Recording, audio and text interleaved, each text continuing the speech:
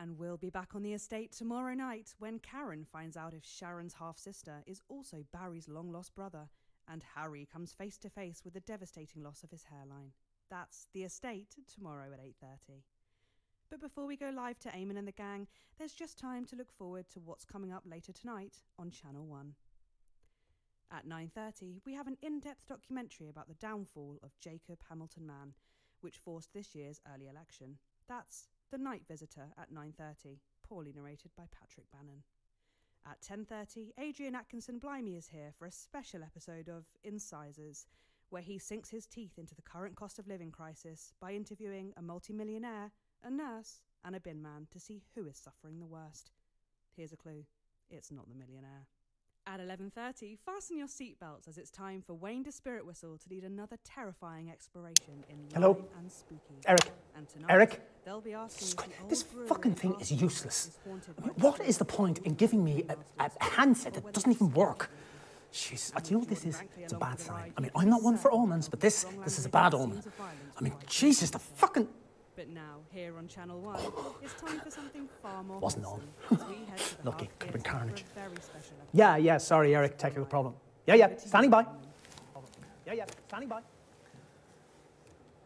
Good evening, I'm Eamon Tightly. Behind me is a true TV legend, now running for Prime Minister, everyone's handiest man, Peter Clement. Now, Peter thinks he's been brought here tonight to film a special reunion episode of Just the Job.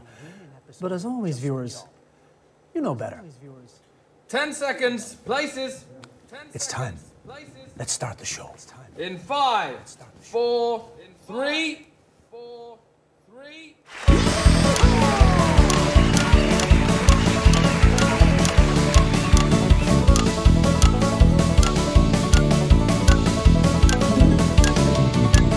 When you're feeling shaky, but there's no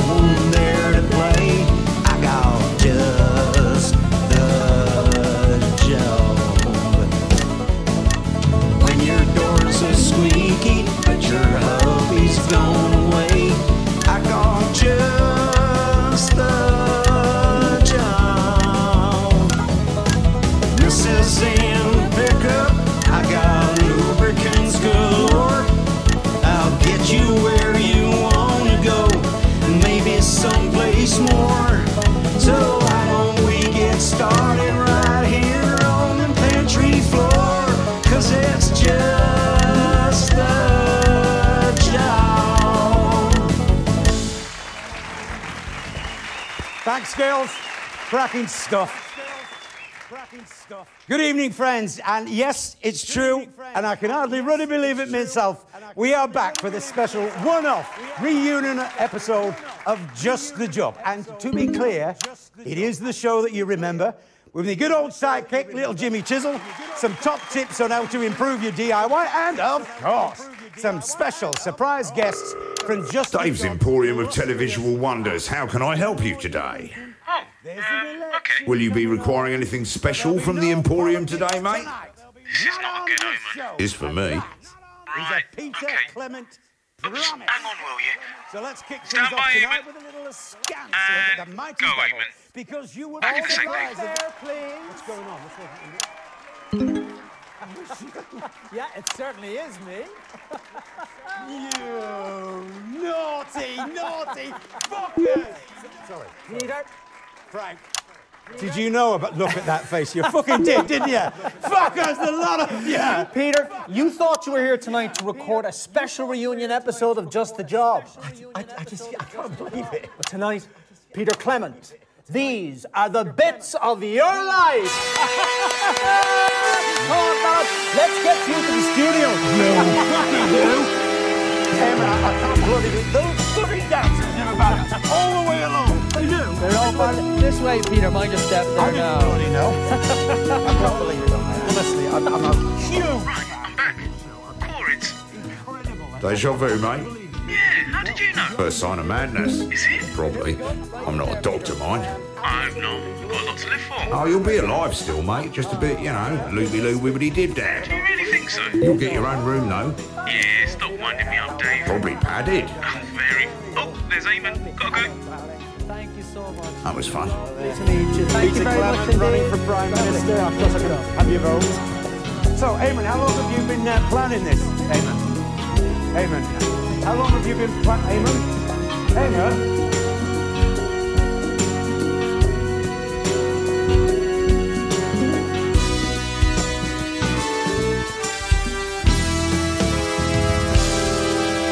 Peter Gordon Clement.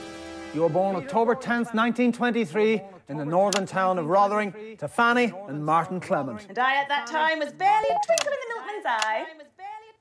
No, that, that's not right. That's Dorothy Hammerman. No, no, no, no, no, no, no. Stop the music. Stop the music. That wasn't me. That was me working out what had gone wrong with the script already.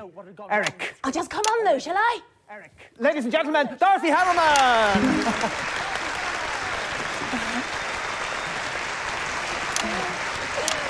Eamon, sweetie! Having a few scheduling issues. Uh, it would appear so, Mrs. Hammerman. Soldier on, though, eh? So, Mrs. Hammerman. Soldier on, though, eh? Mwah, mwah. Oh, shall we? Here's one finger for the north, two fingers to the south, and we can all apologise tomorrow. Oh, drink again. Uh, lovely to have you with us, Mrs. Hammerman. So tell us, what was life like for Peter growing up in the Clement house? I've no idea. In the Clement house. I've no idea.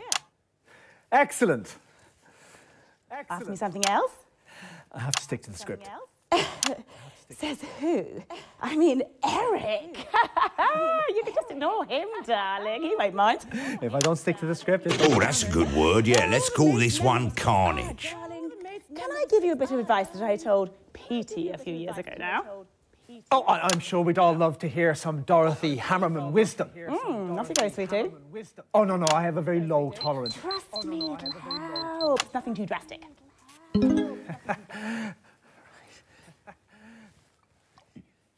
Oh, lovely. What was in that then? Peter, let's put your palate to the test. palate to the test. Another drink to go on the list. Wine? Uh, You were going to give us some of your wisdom. I just did, darling. Dorothy Hammerman, everyone! Oh, I don't think he even opened his mouth. Nobody's ever had that problem with you, Dotty. You horrible man. Enjoy the show. Mwah, mwah. I'll see you for the finale. You will.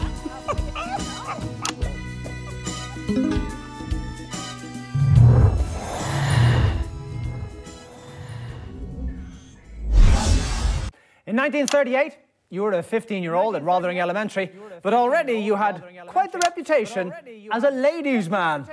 Who's this? Chew me up. Well, It's little Jimmy Chisel, obviously. it's your childhood sweetheart, Chelsea Bones. It most certainly is not. Okay, what, is that a number two? Yeah, it's a little Jimmy Chisel. Been a while? It has that, it has that. Is that for me? Thought you might need a coffee after that last guest. I can only drink a cheeky little glider. Oh, ah, whatever you say, boss. Although I do like coffee. Jimmy, let me ask you this. What do you think we could see in Peter way back then? We could have predicted his path to household name. Wait a minute, you cheeky little bastard! Oh, did I not say? It's got a little kick to it. You know what I mean, amen? Uh, I I don't really. Oh, relax, mate. There's no need to pretend to have a drink with me.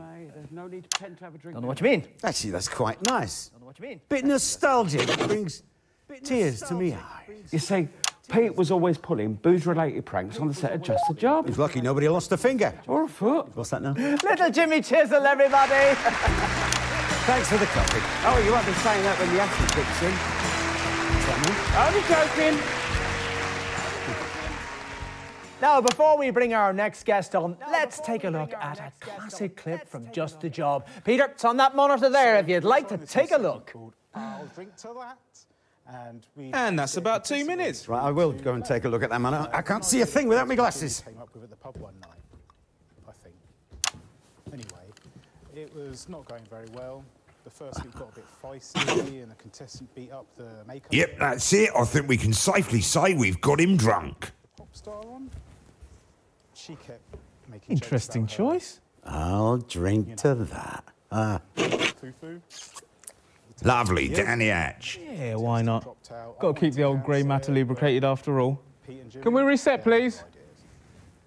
Well, it's time for a segment that the papers have called explosive and the prudes have called inadvisable, reckless and puerile. It's I'll drink to that. Now, I want to say up front that our floor manager, Frank, advised us against doing this, didn't you, Frank? Yes. I definitely did advise against doing this. It's a bad idea. Get off the screen, Frank! Get on with it then. Tonight's guest fancies himself as a bit of a handyman. It's everyone's favourite TV personality, it says here on the card, Peter Clement. Good evening, Jay. It's a pleasure to be here. Now, I've never met you before, have I, PC? You don't mind if I call you PC, do you? You can call me whatever you like, pal. Not according to my contract. Well, if you've read a paper at any point this week, you know how this bit goes. So, shall we make a start? Total stranger who I've never met before? Yeah, don't labour the point, LJ. Cats are better than dogs. I'll drink to that. It's funny, I always had you down as a dog person. What can I say? Mrs. C likes a stroke of an evening. I'm sure she does. Coffee is better than tea. Especially first thing in the morning. You're supposed to say, I'll drink to that. Oh, shite, sorry. I'll drink to that. Yeah, I see what you did there. I always said you had excellent eyesight. Yeah, I'll drink to that. Oi, that wasn't in rehearsals. Skinny is better than Billy Bob jean shorts. Never heard of either of them. So I guess I'll drink to that. Skinny was in here last week doing this. Oh, is that who she was? I thought she was. Where she kept banging on about her Girls curtains. are better than boys. And Mrs. C is the best of the lot, and I will definitely drink to that. Ah, now this one's going to be hard for you because we both know how much you want that shot. I do. I do want that shot. Little Jimmy Chisel, popular and handsome daytime TV entertainer and master craftsman. It doesn't say that. That's what it does, honest, look. It says little Jimmy Chisel and all that good stuff about me is better than fading amateur woodworker Peter Clement. Fading amateur woodworker. That's what it says here on the card. Let me see that card. See? You've written that in pen, you cheeky bastard. I'll drink to that.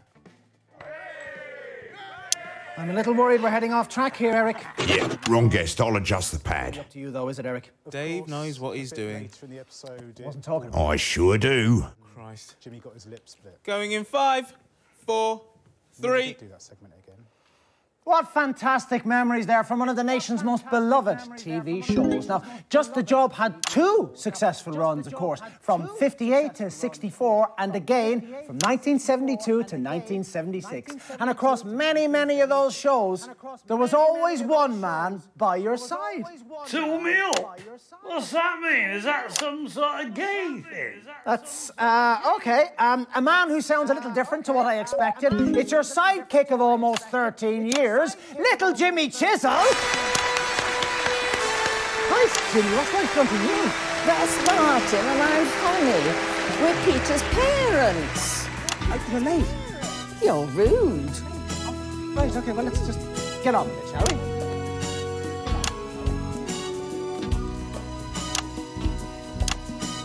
Well,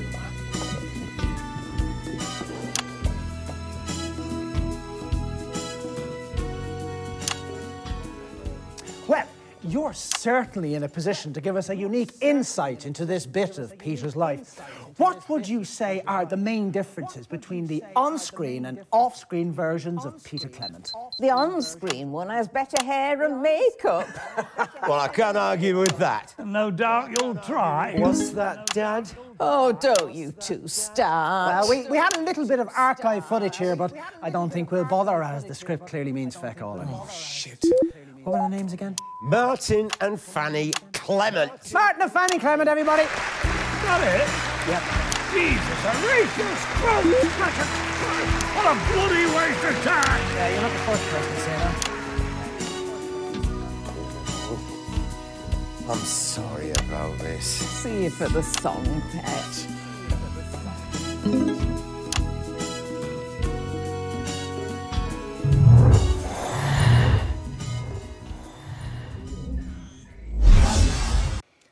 1941, long before Just the Job ever aired, you, like so many men of your generation, were conscripted into the army to go to the continent to fight.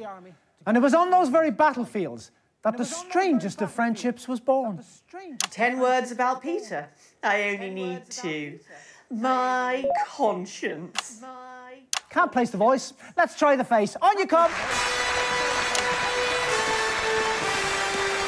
No, still nothing. Good for you.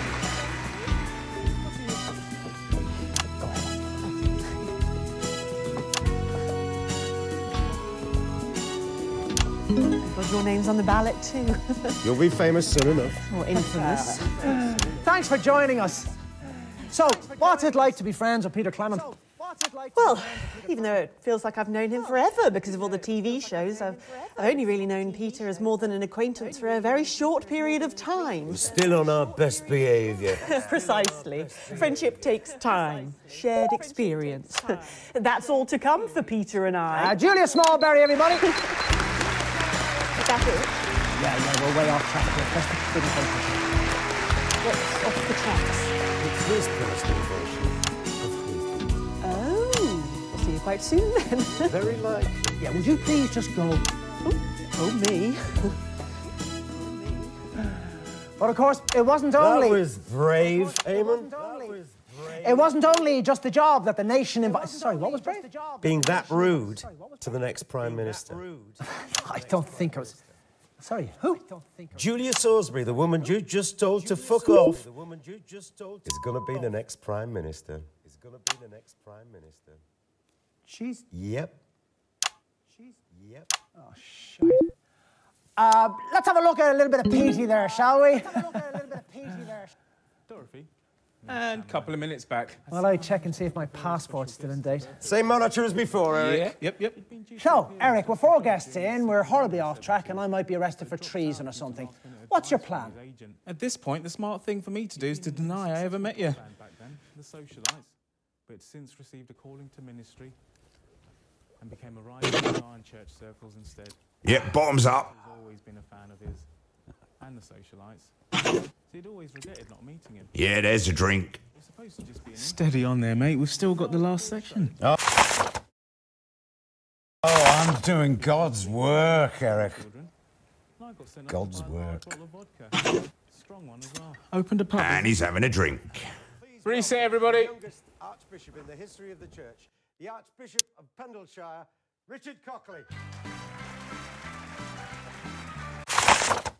Now then, Archbishop, a few years ago, when you were a pop star. Nah, my misspent youth. Oh, nonsense. We all love the socialites, don't we, everybody? Really? You're too kind. You're too kind. Anyway, back then, you agreed to go on Just the Job to do a little thing called I'll Drink to That. Do you remember that? Yes, I saw the first two, and I remember feeling very strongly this was something that might come back to haunt me. Well, you're not wrong about that. Play the jingle.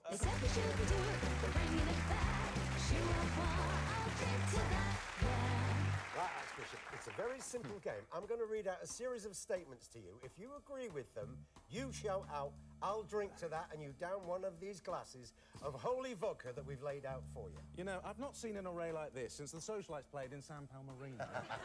now, for legal reasons, can you confirm that you're doing this of your own free will and that we're not blackmailing you or coercing you in any way? not coercing, no, more like ambushing. But I've never been one to turn down a challenge, and after all, our good Lord even enjoyed a tipple from time to time. The church isn't all jumble sales and child abuse, you know. Let's play! Cats are better than dogs. that clearly you've not met my poodle Beelzebub. No? All right. Coffee is better than tea. That, that's clearly heresy. We will get you. Billy Bob Jean. You know what that is, do you? I'm actually rather fond of country music these days. That, gosh, that's broken a few hearts amongst our old fans, I'd imagine. Billy Bob Jean Short's hit song, Do What I Say or Go Back to the Basement, is better than Graham Bannon's classic hit from the 50s, If You Won't Be My Lady, Lady. Better than Graham Bannon. I'll drink to that. I can't believe you actually took it. On with the game. White fronts are better than boxer shorts. I'll drink to that. Fantastic. We're learning a lot here. a bacon sandwich is better than fish and chips. Oh, that's a tricky one. Mm, uh, sauce on the sandwich. If you like. I'll drink to that. Girls are better than boys. Bloody drink to that. Language, Archbishop. Charity is better than thrift. Nah, that's a bit theosophic. Theos... that's, that's a bit deep. These shots are going straight to my head, you know. I can see that. We honestly thought that you were going to be sober at this point. Well, you can the boy out the sofa. Oh, I know that look. We should have given up after the first break. What? That's where it all started to go wrong. It's not so bad. Did you not see that last section? Have you got sudden onset amnesia? Please don't do anything stupid. I'll think about it. Please don't. You'd think getting smashed on live television would have ruined the Archbishop's career. But it actually did the opposite. He's more popular than ever now. And of course he presents Hymns of Joy on free. Are you all right, Eamon? Watched Ten television in seconds. Amen. he gives him a. Going in five, God works in four, ways. three. In this case, it was through me and a dodgy off license.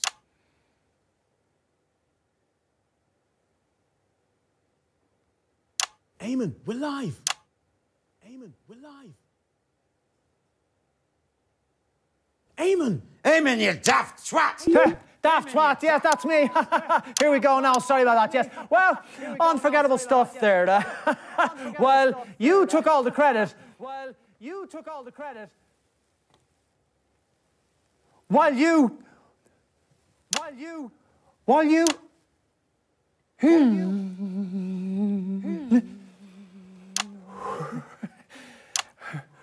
Mm. Are you having a stroke, pal? Come on, Eamon.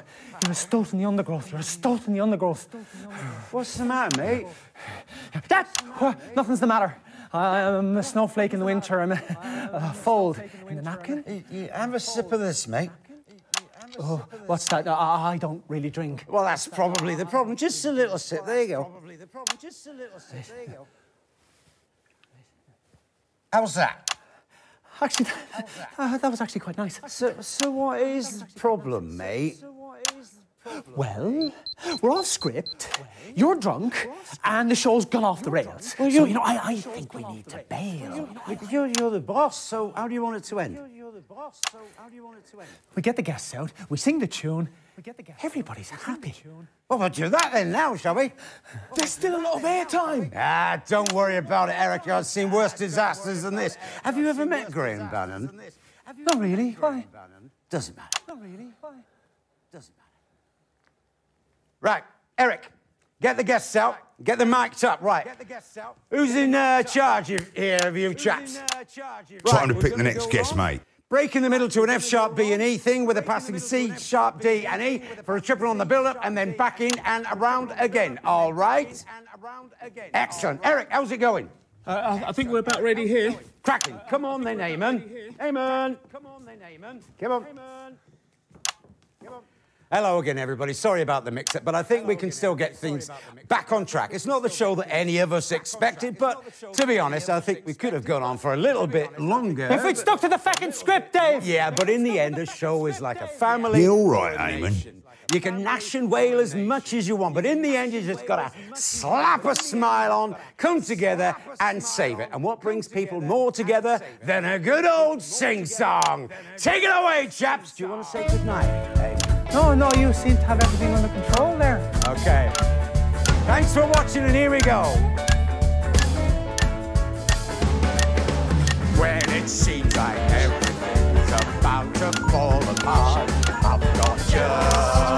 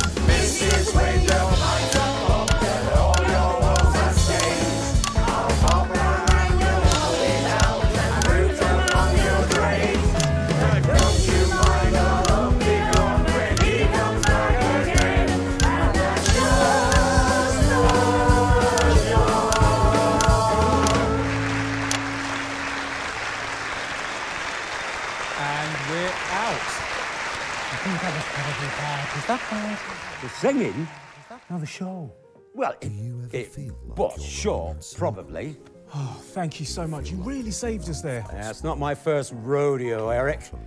Let's see if we can't do the same for the country. More people have been looking to advance for answers and finding that we have them.